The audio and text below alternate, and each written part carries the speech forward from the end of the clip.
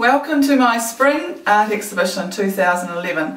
I'm just going to take you through my art studio and show you the paintings that I have on display for my art exhibition. Beginning with this one. This one is called Love, Joy, Peace and it has the words joy, peace and love intermingled in the artwork and that was just a bit of fun with texture and colours that I particularly love. So we'll go on through and we'll look at the other paintings. Here we have one of my very latest works that's based around the Christchurch Cathedral. There was a major earthquake in Christchurch in February this year and the Christchurch Cathedral lost its steeple. And so I had a desire to do a painting of the broken down cathedral with a cathedral that has, represents being rebuilt with the whole message of hope for the people of Christchurch who are still really struggling with the uh, aftermath of the earthquake. So it's a bit of a different work, that one for me. I haven't really done work like that before, but I really enjoyed doing it because it had a really clear message of hope and encouragement. Another couple of paintings I love painting the female face particularly and doing different interpretations of the female face. The one on the left is called Mysterious Woman. It's kind of impressionistic and there is a little bit of mystery about her. And the other one is called Lookalikes. It has a bit of texture in the background. Uh, again, a bit of a different, different interpretation of the female face. Here is just my table with it, which has greeting cards of the painting that you've just seen with a message of hope on the back. And this just tells you a little bit about some of my awards that I've had over the years.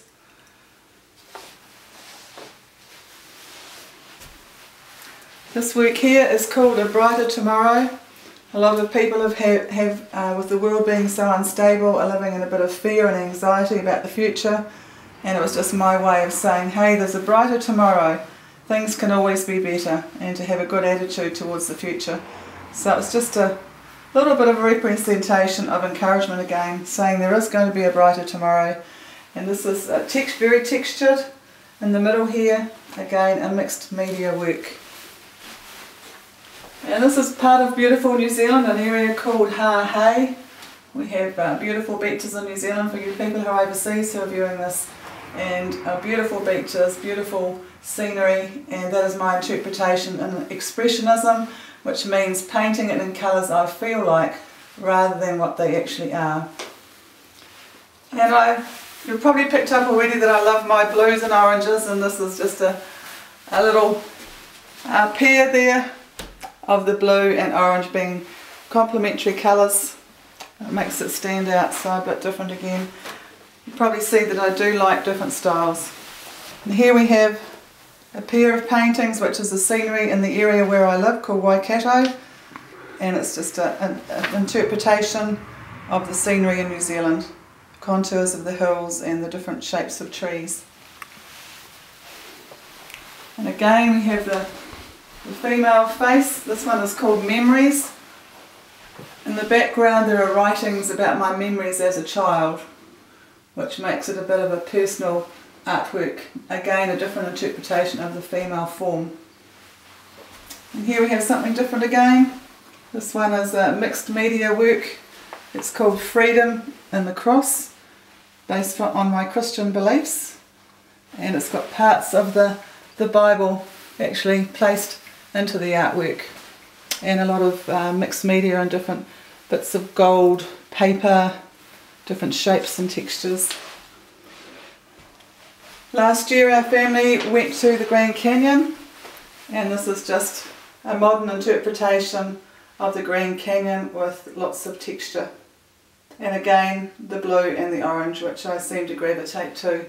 And the next work is irises with blue and orange yet again and the blue background makes the orange of the irises really stand out. That's a chalk pastel work, a very free flowing work that I really enjoyed doing. And this one here is totally different again. I woke up one morning about 5.30 in the morning and that was before my eyes and I knew I had to paint it. There's a bit of a story behind it but I won't go into that at the moment but it's just an interplay of various colours and quite a different work. Again, the female form. Just a bit of fun, ladies having a, a dance, having a party. And uh, yeah, just a bit of freedom in that one. Now we come down into my actual art studio where I normally paint. Here is another one of the female form, a lady dancing, and I've just enjoyed the different interpretation and the fun with colour and shapes, just to present a different work to what I've done before. And then we go on to my hometown has a beautiful river called the Waikato River, and this is a representation of the Waikato River in autumn it's called Autumn Ripples. And then we go on again to another female face, a painting called Monique. This one is done in chalk pastels. I've always been fascinated with the, the eyes. I really enjoy painting eyes and getting that realistic look. Someone said to me at my opening of my exhibition, I wonder what she's thinking about. I never actually thought about that when I was painting it. I'll have to think of something for there. And then we have a painting of Rodin's The Kiss, a well-known sculpture which is in Europe, it may even be in the Louvre, I'm not too sure. It gets moved around a little bit I think. Uh, just an acrylic painting, made a little bit different with the red background which makes it stand out. And down below here is a painting, a still life. I've done many still lifes I'm naturally a realist, so I find it quite easy to copy. So I set up various things on a table and, and copy it. And there's a real sense of achievement getting that realism there. So a cyclamen plant is quite common in New Zealand for a pot plant in the home. This one here again is a female form. It's called the King's Daughters and it's done in mixed media. I don't know if you can see on the camera, but there's lots of reflection here uh, with um, glitter, which gives that gold, rich look to the painting. And instead of having a frame around a stretch canvas, I've just placed this panel down both sides, which represents a frame. We're on to uh, New Zealand scenery again. This one here is a place called Raglan, which is about three quarters of an hour from my hometown a beautiful little beach town with lots of character. And again, it's an expressionist work painted in colours that I feel like painting rather than actually as I see it in reality. The one below is another beautiful beach area north of Auckland called Omaha and a very popular holiday resort. And the area I live we have is a dairy country and we have lots of cows so I had to represent cows in my exhibition. So that's just a little bit of fun with the cows. And here down below I was just playing around with shapes one day and I ended up thinking that shape looks a little bit like an angel. So I, I placed the heart in the space there and called it angel on assignment. Just something fun. There might be a bit of reflection here. This is another beautiful New Zealand scene, a place called T Point and chalk pastels. I really enjoyed painting this one.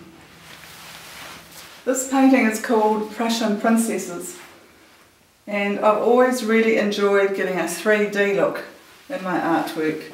This is the painting that's taken me the longest time. I spent um, many many hours on this artwork and I'm very pleased with it. It's got a very regal look so it's got pride of place in my studio for the exhibition. Here's a lot of fun strokes and fun colours. I've called this one Which Road, Which Door. The writing on it says, so many doors, which door do I open? How do I know? Which road? Where will it lead? Who will follow me? Lots of questions, just challenging people about where they're going in life and where they'd like to go in life.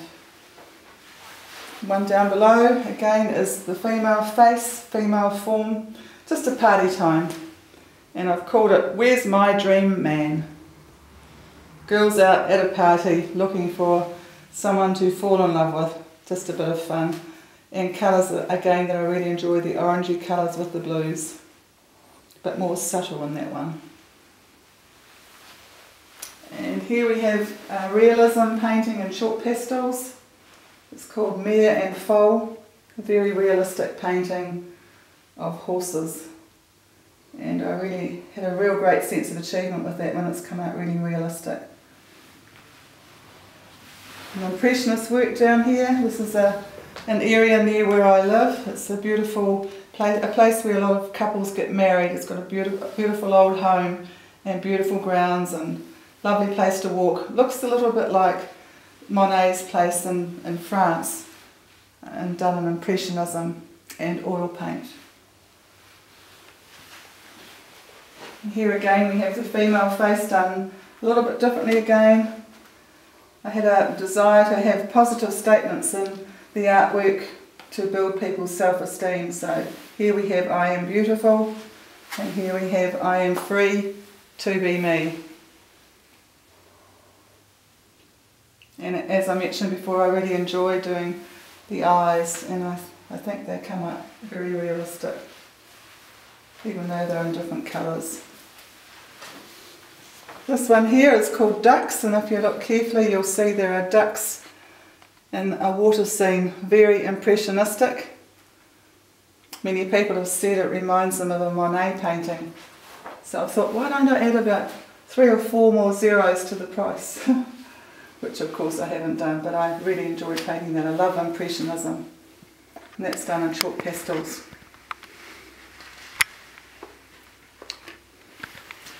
Here again is the female form. This is a bit different again with lots of texture in the dress. I love um, fashion design, I love clothing, and I've tried to represent that in my artwork. And this is a little bit like the 1930s and the decoration around it, so again it's something different to what I've actually done before. And this one here is a local scene of a mountain called Mount Pirongia. I just felt like painting this in colours that I felt like and so I did it very very quickly, threw a lot of paint around and just had a lot of fun with that one. And you can see in the sky the pinks, the blues, the turquoises, the light blue, the white, orange, it was a lot of fun. Because my actual slogan for my art is adding colour to your life. So you will have noticed as we've gone around, a few of them are very colourful. This one here was the first painting to sell in my exhibition and it just so happened to be my latest work and it's called Universe in His Hands. And from my Christian perspective, there's the cross and it's saying that God has everything under control. He has created the whole universe and he has everything under control. So I love the colours, I love colour, and I had a lot of fun with that. I have a real desire to do a great big one in a very similar style to that one.